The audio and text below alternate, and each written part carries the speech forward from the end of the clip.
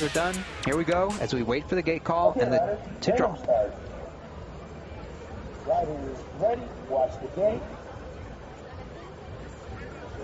Look for a lot of horsepower to come from the inside. You see right there, Treimanis gets an early lead, but Caleyron's right there battling with him. And then Martijn Scherpen's in that third place spot. And look at those guys separate just ever so slightly from the rest of the pack. So it's going to be a good battle for that fourth place spot.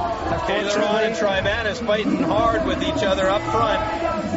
The battle is really back in fourth place at this point, and it's owned at the moment by, I can't really tell from this angle here, who is that back there in fourth place? That's going to be Darryn Goodwin. Darryn Goodwin. Yeah, unfortunately, Sipkoi went down for all the Canadian fans, and that was your favorite pick right now. But right now, it's going to be Caleyron who's going to give uh, Treimanis his first loss of the night. Martijn Scherpen in there a solid third, and then Darryn Goodwin, like I said, he went down, but now he's back up there in fourth place. He's qualifying on to the semifinals. But your finalists moving on and throwing uh, across up are Oh. Caleyron, Treimanis, Scherpen, and Goodwin. I think Goodwin's going to take the freestyle prize there, no doubt about it. The backflip to finish things off. That's pretty pretty uh, gutsy there for fourth place guy to go back and do that. But you know what? That's that's confidence, and that's what you're going to need to make it out of the next race, that semifinal. Because as we said, the cream of the crop, those top four guys just transferred on, as you see right here. A lot of action right now. That's unfortunately when Sipkoi went down. He was going for it. He was in that fifth place spot, guard the bar,